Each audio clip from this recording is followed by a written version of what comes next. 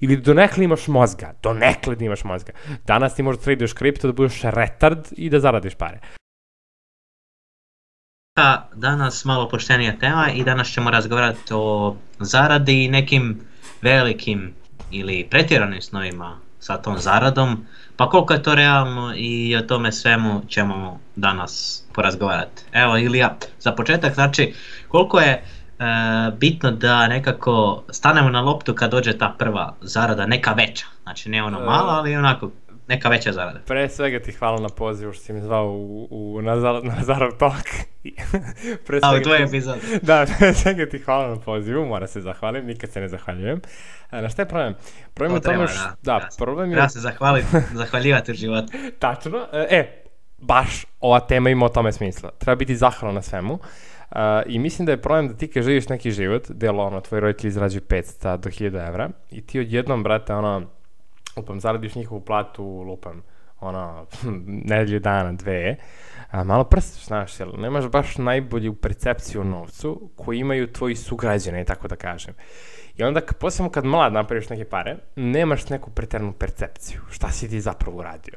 A, meni se dešavalo da sam bio mlađi i možda sam napravio neke pare koje meni e, u tom trenutku baš nisu bile realne. Meni je zbog tog iskustva novac postao samo broj na, bukvalno, broj na, na, bankom, ono, na bankovom računu. I mislim da je u tome i te cilj. Da ti novac ne postane toliko bitan, pričao sam to u jednom videu, da ne treba novac drži tebe, nego ti novac. I kad ti tako mlad napraviš toliko pare, bez truda, ti ukapiraš da je sistem usran. Ukapiraš da je sistem napravljen tako da budeš rob novca, da ti robuješ tom novcu, umesto da novac bude rob tebi. I mislim da je mnogo dobro i loše u istom smislu da kad mladi čovek zaradi e, jako mlad puno para i ide jako loše i dobro. E, tvoje pitanje je mnogo dobro. Nisam ukapirao koliko je dobro dok se krenuo da pričam o njemu. Jer te sad kapiram da, što, naprimjer, iz mog iskustva sad ovo pričam, ja sam ukapirao da je sistem zajeban, kad sam ja lupam ono za klinac za 10 dana, nedelju dana zaradi 200 evra. Pazi, ja sam ukapirao da neko ide u školu, ne znam, uči za srednju školu, završi toliko godina, da bi zarađivao lupam te pare, ne znam, ne u mesec, ne u nedelju dana, nego u nedelju i po. A ja kao klinac sam toliko zaradio. I onda ti ukapiraš da sistem zajeban i ukapiraš kako da izađeš iz tog lošeg sistema. Jer šta je problem? Problem je ako ti do kraja života moraš direktno da daješ sve vreme da bi izrađivao novac, ti ćeš zauvek biti u tom nekom začaranom krugu robovla, biti šrob. Da, 20, 21. vek. Kažu, to je slobodno vreme. To je vreme sa najviše robova. Sam ljudi to ne kapiraju. Jako su lepo pričali Grci. I drugi filozofi. To je ponavljeno kroz istoriju, ta čuvena rečenica. Znači, ako želiš nekog da zarobiš, jednostavno nemoj nikada da dozvoliš da sazna, nemoj da dozvoliš da sazna da je zarobljen. Znači, ako je neko u zatvoru, on će se zauvek osjećati lepo ako misli da nije u zatvoru, kapiraš? Napravi mu realnost da on misli da on nije zarobljen, da on nije rob. I tu prvo sa nama danas. Ljudima bukvalno uh, uh, pričaju indirektno su oni slobodni, da mogu da rade šta hoće. A šta se promenilo, molim te? Danas ljudi imaju dovoljno novca da plate stan, da prežive, da jedu, da piju i ono nešto minimalno neka razvijena. Dajte narodu hleba i igara kako bi ostali mirni, kako se ne bi bunili. I to je ceo koncept koji mi vidimo kroz istoriju koji se do dana danas ih ponavlja. I onda ljudi koji mladi naprave novac, ja da kažemo, razbiju sistem. Jer ti ukapiraš, ti kad napraviš prve neke pare pasivne, ti si u fazonu, brate, ja sam zajebo, ja sam razjebao sistem. Jer ti ukapiraš da sistem nema smisao ti daješ svoje dragoceno vreme da bi zaradio novac. Iako je Bog lepo rekao u Bibliji, ne možete služiti Bogu i novcu, i to je problem s ljudima. Ljudi koji služe novcu, oni izuzetno puno svoj... Koji ljudi služe novca? Oni koji rade tri posla. Ne da bi preživeli, nego iz nekih svojih materijalnih uh, nekih svojih materijalnih požuda i misle da će to da ih učini, ne znam, ne znam, nekim, ne znam čim. Pa ja znam ljudi idu lupam rade u Nemačkoj, Švajcarskoj tri posla, kako bi došli ovde sa Audijem i kako bi rekli, je, kao, kako bi na neki način... Da se tamo lijepo živi. Da. I da kako na zapadu je lijepo, a zapravo e, tamo je ne, ni to, ne, ne, ni to, ni to. Ja mislim da oni to rade da bi zadovoljili neke svoje onako duševne, sebične želje. E, mi ljudi smo jako da, sebični. Da. Tačno, a mi ljudi smo jako sebična biće. biće. Naprimjer, ljudi koji doniraju neke pare, oni stalno vole da iskažu da su oni to donirali. Naprimjer, nekoj crkvi, donatori bili ti i ti. Pog jako lepo rekao, kad daš nešto, ne mora ti da vrijštiš, ja sam to dao, lepo rekao Hrist. Bog će ti dati platu, ne moraš ti da priča, ja sam donio, ne. Brate, ćuti, sačuvaj za sebe, Bog će te nagraditi. I to je Neka to. ti ljevica ne zna šta ti desnica radi. Baš tako, tako piše u Bibliji, jeste. Tako da, to je neka poenta, ljudi su odlutali od toga. Znači, pitanje je prvo bitno bilo jako dobro kad udari taj prvi novac. Znači, šta je fora? Svi napravimo istu Da, ali ti si rekao, na primjer, e, tinejdžeri bez truda, ali to je isto opasno, dok neko bez truda ne, i... Ne, ne, ne, rekao sam ti, i dobro je i loše. Dobro u smislu što ukapiraš da je sistem zajeban, a loše u tome što nemaš realnu percepciju novca. I to je to. Znači, dobro je i loše. E sad, na mene se to mnogo dobro odrazilo, zato što sam ukapirao, nisam ja zaradio ne milione, ali dovoljno da ukapiram da rad za novac nema smisao, a s druge strane, ne toliko puno da mogu sada poludim. Tako da mislim da to je neki najbolji opseg. Ako baš previše para zaradiš, upropastit ćeš se verovatno. Verovatno, sad koliko je A previše... i da oni su- služe novcu onda. Da, da, Ovi da, da. previše E, zarade, da, oni slušaju. da, da. Oni ljudi, postoje ljudi koji ono, e, koji me bukvalno, da, da, potpuno slažem s tobom. Treba naći neki balans. Treba naći neki balans, zdrav balans, da jednostavno mentalno ne pukneš, znaš. Ali ima ljudi koji vole, ono, definitivno vole da rade i novac gledaju kao na igru. I to podržavam. Ne gledaju kao novac, aj ja moram, ne gledaju kao na neku igru. I biznis više gledaju kao na sport. Tako da, ja mislim da ti kad, realno, nije mislim, ti kad postigneš određen nivo, kad pređeš egzistenciju i zadovoljiš neke svoje potrebe, biznis realno ono, postane igra. Mislim, ono, da ćeš zaraditi, ne znam, 5000 evra, 10.000 evra, znaš, nije, nije preterana razlika za tvoj život, tako da je to. A koje je tvoje mišljenje o tome što neko je bio od rođenja bogat, a neko onako se mora mučiti dosta u mladosti? Ili kao E, tinejdžer, ono baš jako zapest, da tako krene. Koje je tvoje mišljenje općenito o Mm, tome? Mislim da je život mnogo srećniji, mnogo srećniji kad moraš da zapneš. Uh, jer onda taj sam novac ima neku vrednost, kao što smo rekli. Uh, taj užitak, te materijalne stvari imaju vrednost, ali u smislu vrednost, ne vrednost u hedonističkom smislu, nego vrednost u tome da si ti a, potrošio neki deo svog truda života, da ti to stekneš i postigneš i možda kažeš, e, ja sam ovo uradio. Kad me sad neko pitao, a, da ću ti Mercedes sa E-klasu novu, da voziš ti, da si ti kupio, ili da ti Ćale kupi Lamborghini, šta bi uzeo? Pre bi uzeo Mercedesa. Jer jednostavno, ja sam kupio, osjećam neki achievement, šta je fora? Ljudi sve rade realno iz neke, ajde da kažemo, da bi ispunili neku svoju potrebu. A potreba za samo ostvarenjem je jedna možda od najbitnijih potreba koju čovjek ima. E, mnogo lepše osjećati samo ostvaren nego biti najbogatiji čovjek na svetu i biti ono, ne znam, iz saudijske porodice da su svi bogati.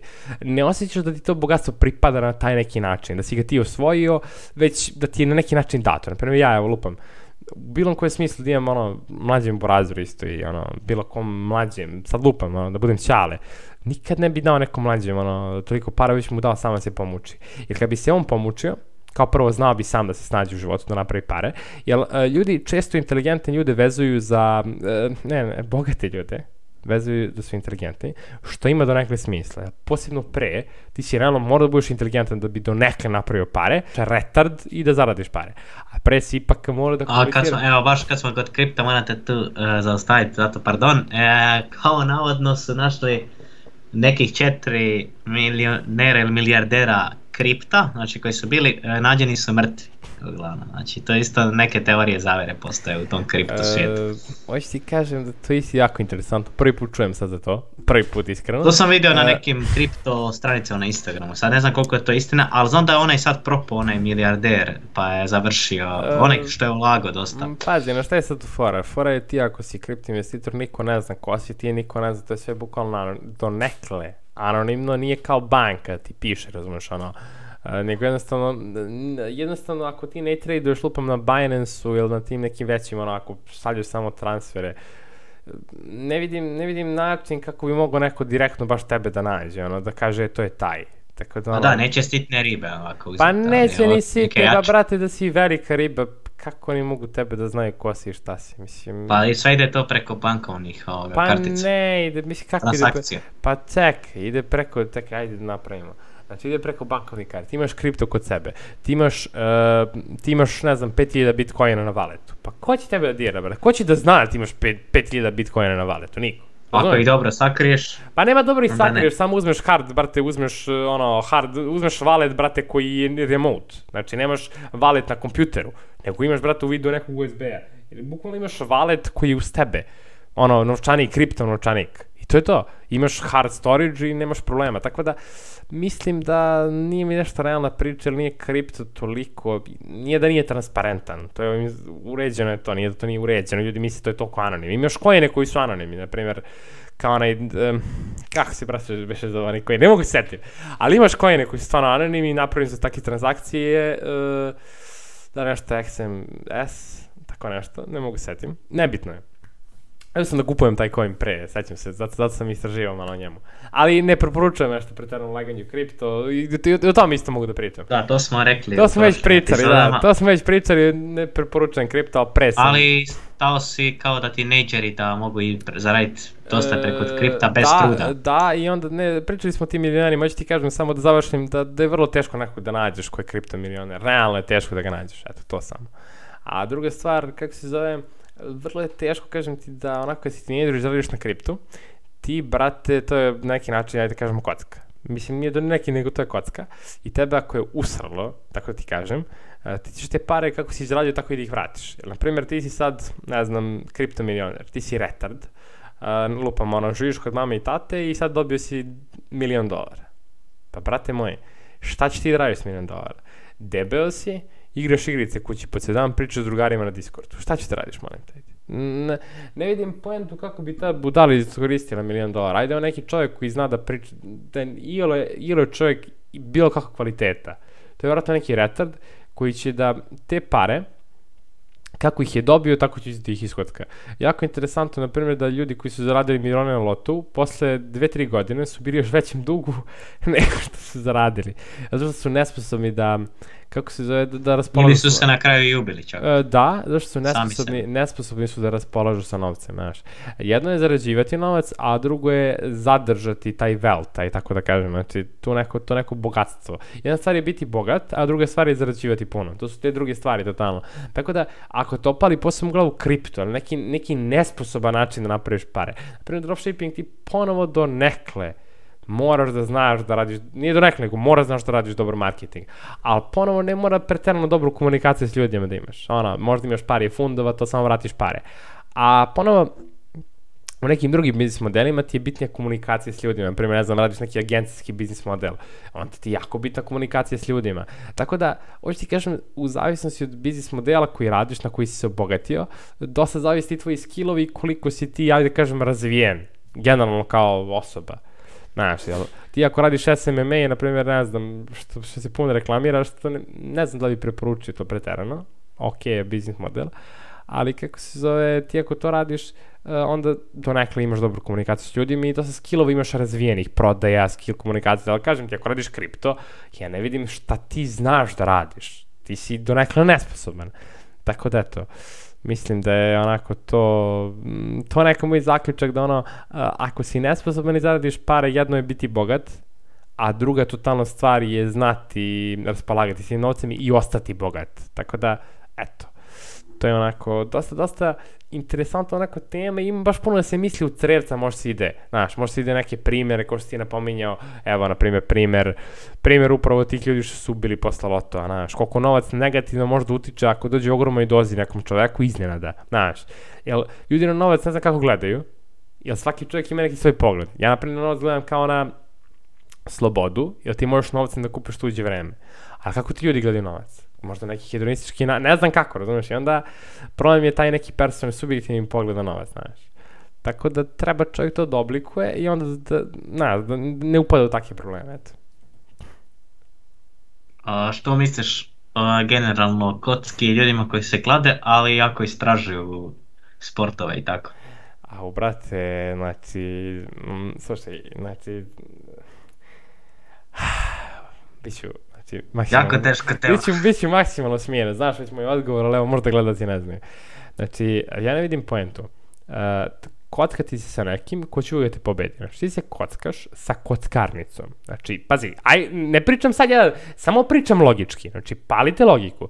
Ti se kockaš sa kockarnicom. Jel igraš, na primjer, mašinu, jel igraš rulet, znači ti faktički igraš protiv kladionice. Jedini cilj kladionice je da zaradi na tebi. Znači, igraš protiv biznisa kome cilj da zaradi na tebi. To je isto kao da se cenkaš sa trgovcem koji, koji je u svakom slučaju u profitu. Znači, u svakom slučaju, on, on, će, on će uvijek da izađe na profit. On, pametni trgovac, će tebi da kaže, cena je 50.000. I ti mu kažeš, je, može 45. I on će da kaže, jaj, pa kao ovo, ono, a on zapravo realna cena je bila 40 koju on tebi te da i, i 5000 skuplje ti naplatio. A ti to ne kapiraš, ti sebi kažeš ja sam uštedao 5000. I na primjer pametni marketari koji kažu, ne znam, Black Friday, popust 50%. I ne znam, sa 4000 na 2000, a prava cena je 2000, kapiraš? I jednostavno ti mentalno zebeš i tako isto na kladionici. Daj mu malo na ruletu, daj oni njemu malo, da se on naloži. I onda mu uzmu pare, bam, bam, bam, bam, bam. Jel kuća, kako Da, se, mnogo da. lepo amerikanci kažu. Isti princip. Da, ali mnogo kuća, mnogo lepo amerikanci kažu. House always wins. Kuća uvijek pobeđuje. Jako lepo rečeno. Nikad lepše nisam sročenu rečenicu čuo. House always wins. Kuća, vrati, uvijek pobeđuje, razumiješ? I to nema neke nauke. Mislim, ti baš mora budeš glup da ideš na mesto protiv cijelog organi- organizovanog biznisa koji je organizovan da te zajebe. Znači, pazi, ti ideš u organizovan biznis koji je organizovan tebe da zajebe i ti tamo ideš. Pa ako ti je logika... Da, apsolutno. Ali pazi, ako ti imaš mozga, oni tamo, znaš da nemaju prozor, mislim, evo, ne znam kod vas, kod nas, brate, kladionice nema jedna prozore, evo u Srbiji pričam, ja ne znam kako u Hrvatskoj, nema, kladionice, većina njih nemaju prozore, da ti ne bi znao koliko si vremena tamo, mislim da ne bi imao pojem o vremenu, i daju ti hranu džabe ako se ne ukockaš. Kako bi ti tamo još ostao? Oni su previše inteligentni. Previše inteligentni, zato uzimaju previše para. Tako da, kogod ima malo mozga, malo, samo da upali mozak, razume da to igra za retarde, mislim, eto. To je moj odgovor. A, Dakle, treba biti pažljiv gdje idemo i u šta ulažemo novac. E, šta je najgore, s kim se družimo? Pazi, ti ako se družiš sa pet kladioničara, ti ćeš da budeš šesti, znaš. Nemoj da se družiš, nemoj bukvalno da ideš s ljudima koji se klade. Nemoj da se, nemoj da budeš u takvom okruženju. I nećeš imati problema s tim. Ja znam mnogo dobrih ljudi koji se klade zbog društva i postali obsesivni kladioničari. Znam dobrih ljudi koji nikad nisu pili i krenuli da piju zbog društva. Jednostavno, ti si prosek petoro ljudi s kojima si okružen. Potrudi se za tih petoro ljudi. A što ako nema neko pet prijatelja s kojima Nije se druži, bitno, ti ima tri, ima- da gleda podcast. Da, Da, da, podcast. da, druži se sa mnom, nek se druži lupam, nek nađe, evo, bukvalno, nek gleda podcast, evo. Napiši pitanje, odgovorit ćemo, jednostavno, ako ima troje ljudi s kojima se druži, na primjer lupam, ono, ako nema puno prijatelja, nek, bud, nek vidi bar da ti prijatelji budu normalni. Eto. I nek se druži s onda nama. koji bre. je prosjek ako je ispod pet?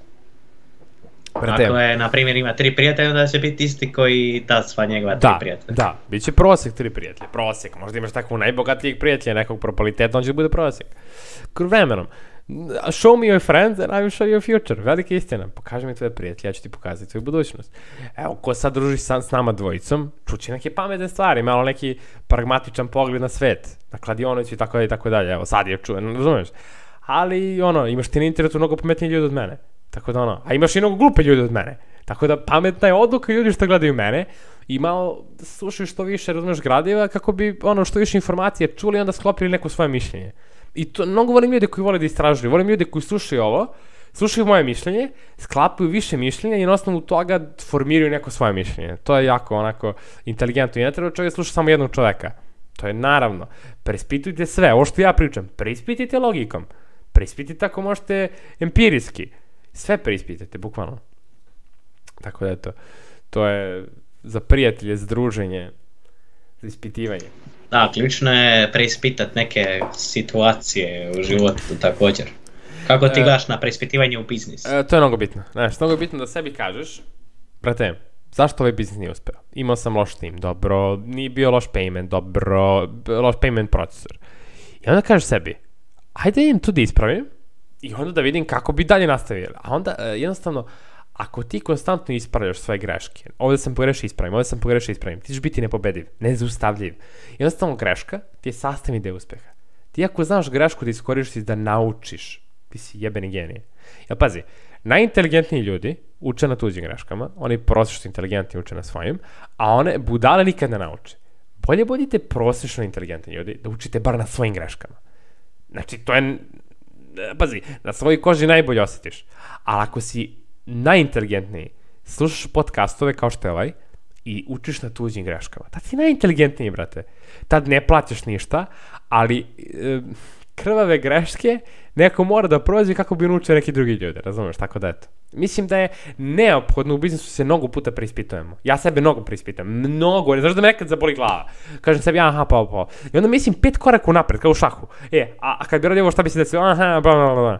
I onda imam milion informacija, brate. Imao sam jednog drugara, sad onako neironična priča, nadam se da neće se ljudi što ovo pričam. Njegov, ja mislim da je deda, da, deda igrao šah i čovjek je umro zbog šaha, zbog pritiska. Bukvalno čovjek imao pritisak, igrao šah i iznervirao se. E, tako ti u biznisu. Znači, ti moraš previše da razmišljaš, ali ponovo do nekle da ostaneš kolm. Ostaneš smiren. Jel, ako Kako ne... je neka uspio zbog šaha? Da, da, da, imao je E, čovjek, imao je, sad ti, pa ne, čovjek ima ogroman pritisak, znaš. Igrao je šah Da. i samo pao. Zato što je šah još više, razumeš ga, tako da, ja moraš mnogo da razmisliš. Tako Da, da, apsolutno, neko se iznervira lako i brzo. E, tako da. da treba kontrolisati sebe i u biznisu ja sam pre bio lik koji je radio sve odmah i sad. Ne kažem ja da je to loš pristup, samo treba raditi sve odmah i sad, ali kvalitetno. Eto. Znači, treba napraviti definitivno balans između ta dva. Treba što brže uraditi posao, ali što kvalitetnije i negde između bukvalno se napravi neka linija, znaš. Jer imaš ljudi kao što su Tate koji pričaju brže, brže, brže, brže, imaš neki ljudi koji kažu polako sredit ćemo. Pa nijedan ni drugi nisu u pravu. Treba naći nešto između, definitivno. Treba jako, što brže uraditi posao. Ali do nekle treba ga uraditi i ole da bude zadovoljavajući, tako da eto. Ovo je sporo i još više mrzim, znači ja se palja, pa ćemo polako, toga nema te hleba. Mora da se uradi brzo i efektivno. Tako da eto. Da, ovako vrije, treba cijeniti vrijeme kao što smo spomenuli E, u priča- prošlim epizodama. Da, u prošlim epizodama, po, poštovani gledalci, ako niste gledali prošle epizode, toplo preporučujemo. Vratite se, bukvalno odslušajte, jer bilo je mnogo kvalitetnih informacija i mislim da svako ko ovo sluša, treba da pogleda prošle epizode kako bi razumeo kontekst ove cijele naše priče. Ali mi nismo ovo džabe napravili po epizodama. I Lazarov tok 7, e, zato što jednostavno svaki Lazarov tok nosi neku novu priču sa sobom. Neki novi, na primjer, evo sad sam ispričao ovu interesantnu priču o drugu i o šahu, njegovom dedi. E, baš Prošli- mi je žao zbog toga Pa- i pričali smo o, o stresu, ali evo, O- žao mi je što se to desilo i treba naučiti iz toga također, da se ne treba previše stresirati. Tačno, ali učiš i tuđe grešaka. To je velika žalost se desilo, ali mi ne možemo ništa izmeniti, možemo samo da naučimo da se ne dešava u budućnosti. I, i to je, uh, jednostavno, i to, to ljudi trebaju da cene jako puno. Zašto ima puno ljudi koji uče puno stvari i treba da uče jednostavno iz njihovih životnih primjera, kapiraš? Da su oni slušali priče sada, evo koje sam ja sve pričao, naučili bi puno, na primjer slušali Zarav Toka 1, a nadam se da jesu, kapiraš? I onda ima tu mnogo informacija koje mogu da primjenu u svakodnevnom životu, kao što ovde sad pričamo. Tako da, ako niste, oslušajte do Zarav Toka 1, pa sve do ovde. Tako da je Manuel sledeće pitanje, molit ću. To je i ta glavna tema ovog podcasta, znači htjeli smo okrenuti o tim nekim snovima. Kako ti gledaš na neke nerealne snove dok neko zamišlja previše u početku, pretjerane snove u početku? To je mnogo teško odgovoriti. Na šta je problem? Problem ti je u tome što e, nekad nerealni slovi su dobri, a nekad su loši. Sad, uh, jednostavno, ljudi misle da nešto čuju, to mi je jako glupo kad nekog čovjeka čujem. On nešto čuje na internetu i on samo to isto fabrikuje to isto je čuo. Znači, on ne misli svojim mozgom, on samo to fabrikuje. Kad neko na internetu kaže na Reelsu, ja znam drugare, kažu na Reelsu, posle visoke snove. I on to samo ponavlja, on, on ne razmišlja svojom glavom. Visoki snovi su mnogo dobri, visoki ciljevi, snovi su mnogo dobri, jer ti ako imaš visoke ciljeve, visoki snove, radit ćeš mnogo više da bi ih postigao i ti da pogrešiš u visokom cilju i visokom snu, mnogo si više uradio nego da uspeš u malom cilju, kapiraš. Ali s druge strane, treba postaviti, može doći do razočarenja ako ti ne postigneš taj zacrtani cilj, kapiraš. Tako da, treba biti u neku ruku realan, ali u neku ruku treba više, više očekivati od sebe. Eto tako, ajde da se izrazim. Znači, jednostavno treba postaviti cilj koji je fizički realan te kad ti izvedeš, da ti izbaci iz comfort zone, mm, to je možda neki najbolji cilj. Jednostavno, 10, kao što kaže Grant Cardone u knjizi, 10 puta veći cilj uh, je 99% neostvarljiv, ali možda ga treba postaviti kako bi više postakao sebe. To je subjektivno od osobe. Naprimer, ja sebi ako postavim 10 puta veći cilj, uh, i ako ne uspem u tom cilju, m, možda me to bude više postaklo, znaš. Jer znam da ima šanse da uspem, ali nekom čovjeku bi totalno razočaralo, bi on bi odustao da radi to. Tako da, subjektivno je mnogo kako treba postaviti cilje i ambicije. Zavisi od čovjeka do čovjeka, zavisi od toga u kakvom je okruženju odrastao, s kim je odrastao i kako je učen, znaš. Naprimer, ja do dana današnjeg imam možda neke stvari i neki način razgovora, ne znam, ljudi iz mog okruženja, ne znam, porodica, i tako dalje i tako dalje. Ili jednostavno meni je to bilo normalno, ja sam to prisvojio kao normalno, neko možda nije. Tako da, e, treba na neki način upoznati malo bolje sebe, znaš. I da sve ove stvari ljudi trebaju malo više da upoznaju sebe, da ukapiraju šta odgovara njihovom mindsetu. ako imaju loš mindset, onda treba samo da promene mindset, kapiraš? Mislim da oko ciljeva ne možeš možda imaš lost mindset, naravno, cilj, na primjer, ja ništa ne mogu da uradim, ništa ne mogu da postignem, taj mentalitet kukavice, ali realno, subjektivno u smislu kako ti gledaš na cilju i njihovo stvarenje. Naprimjer, ja znam dosta ljudi koji nemaju ciljeve prave mnogo para. E, pazi sad ovo. A, da oni imaju ciljeve, možda ti pravi još više para, kapiraš. Ali ono, i to je subjektivno pitanje, možda ne bi. Tako da, treba do nekle čovek da bolje upozna sebe. Kako ćeš bolje upoznati sebe? Pa, šta je fora? Ispitivanje. E, da, ali, I radom, ali, naravno. ali, na šta je fora? Kad ti ukapiraš, na primjer, da tvoj mozak, da nisi ti, m, I to te malo dovede malo u sumnju, znaš, na primjer, ti dobiješ neke informacije od tvog mozga, na primjer, dobiješ informacije, ne znam, imaš neku biznis ponudu i zovete na telefon biznis partner i mozak ti kaže, ja nemoj da se javiš, strašno je. A zapravo, mo, um ti gore treba se javiš, zato što je to dobra biznis prilika. I tvoj neki taj eternal neki onako sad te plaši, ti sam sebe plaši, tako da treba da razvojiš e, možda tvoje telo od tvog uma i tvoj um treba da kontroliš tvoje telo. Malo je komplikovano, ali je mnogo Jel realno. ti imaš onu percepciju kao, do, kao da kažu razmišljaš srcem ili razmišljaš umom? Jel Da. ti imaš takvu isto percepciju? Uh, da, imam takvu percepciju definitivno, jer razmišljanje srcem ti je razmišljanje telom. Razmišljanje svojim osjećanjima i ja bukvalno to kažem, ajde se izrazim najgore za pičkice, bukvalno. To je razmišljanje za pičkice ako ti razmišljaš srcem, jer ne donosiš logički racionalne zaključke i razmišljanja. I to je kod upoznavanja sebe. Ti oblikuješ ko si ti. Naprimer, ja A sam možda sebe... je ponekad i dobro tako razmišljati. Ajde si u kojim situacijama, samo da završim. Pa da. Mnogo je bitno da oblikuješ ko si ti. Spomenuo sam gledalcima da je, da kako se zove, da, da, da upoznaš sebe. Ali, e, šta sam želeo tačno reći je da ti upoznaš sebe, izmeniš sebe kako bi bio ona verzija sebe koju bi ispunila ciljeve koje ti želiš da imaš. Najbitnije, prva stvar koju treba da uradiš ako želiš da se obogatiš ili bilo koji cilj da postigneš, da razmišljaš, na, da promeniš način razmišljanja. Jer tvoj način razmišljanja ti je kao okovica, on te vezuje za pod. Ti ako promeniš način na koji misliš, ti menjaš sebe. Jer tvoje misli vode do radnja, ne, komplikovaniji je ceo proces, ali ajde skratimo. Tvoje misli vode do tvojih radnja. I tvoje radnje vode do tvojih rezultata. Tako da ako želiš druge rezultate, samo drugačije misli. I to je to. E sad, imaš jako, da ne znam, imaš dobru knjigu kako razmišljaju milioneri. To je jako dobra knjiga. Pročitaj tu knjigu, ona priča samo o mindsetu i pravilo 10 Gran Cardona. Jel, ja tek sad primećujem da sam ja e, sebe jako puno promenio što se tiče mindseta, kako bi se prilagodio mindsetu bogatih ljudi. Jer ja isto želim da budem bogat. Tako da ako želiš da budeš bogat, razmišljaš kao bogat. Ja, na primjer, kad vidim kako je baka praz zaradio neke pare, ja kažem, svaka čast, potapšem to, jer kažem, bravo, ne pljujem njega, on je pokrao, ne. Jer ja njega gledam na neki način, ako ti pljuješ bogate ljude, ti ćeš duboko u svojoj glavi da kažeš da su bogati loši, a ti za sebe veruješ da si dobra osoba. I samim tim tvoj, e, tvoje srce će da odbija tebe da postaneš bogat onako bukvalno u malom mozgu. Tako da jako je bitno, ako ste ovo shvatili, super, nadam se da jeste, ali jako je bitno znači, da isprogramiraš sebe. Eto. Znači, reprogramiranje samog sebe. Znam da glupo zvuči, ali velika istina. Jer ti možeš da promeniš sebe u korenu, samo drugačije misli i tvoje akcije će biti drugačije i tvoje radnje će biti drugačije. Tako da, znači, kao što sam već napomenuo, promeni kako misliš, kako gledaš na svet i ako promeniš svoj pogled na svet i svoje misli, ti ćeš se promeniti i uspećeš svojim ciljevima i svojim snovima, kapiraš? Jel, na neki način, to jeste subjektivno, svako ima neka, svako ima neke svoje osjećanje ciljeve, ali mi to možemo da izmenimo kako bi bukvalno manipulisali svoje telo ka našim ciljevima. Manipulisali naš um, ali naš um smo mi. Imamo, na, malo je komplikovano, bukvalno. Naš um smo mi, mi manipulišemo sami sebe kako bi došli do određenih ciljeva, tako da eto. I nikako ne treba, mislim, u većini slučajeva, ne treba slušati srce, a u nekim slučajevima, koji su jako redki, da, ali ja čak mislim da ono lupam treba, ne znam, sa partnerom nekim, ne znam, da, da osnoviš porodicu, ne znam koliko je inteligentno da prvo slušaš srce, kapiraš. Mislim da je prvo inteligentno mozak da preispitaš. Ne znam da si mi za taj primjer teo da kažeš treba slušati. U kojem primjeru, evo je Manole, u kojem A, evo, primjeru jasno, treba? Da.